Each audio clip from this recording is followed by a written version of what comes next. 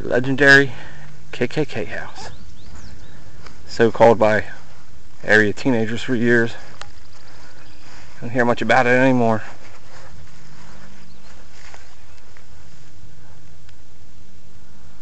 Looks like somebody's actually been in here.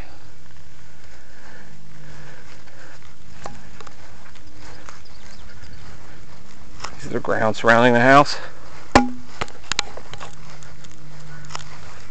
Kept by public service, electric, electric and gas.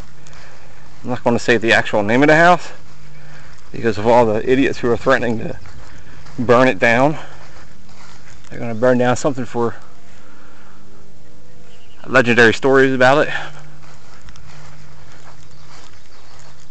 I've talked to different people about there being a Klan out here, them having to do anything to do with this house, and nobody knows any idea about it. So this used to be a uh, party spot, and teenage boys will make up stories to scare teenage girls. That's about it.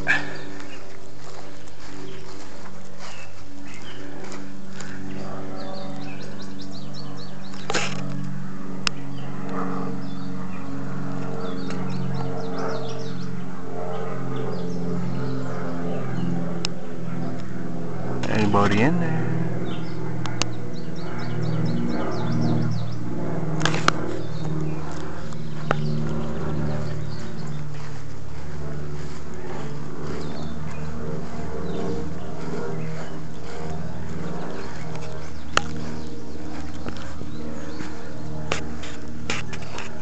For more information on the house, see my other video, my low quality video, posted under KKK House. And there it is, the infamous KKK house. And the land that's surrounding it.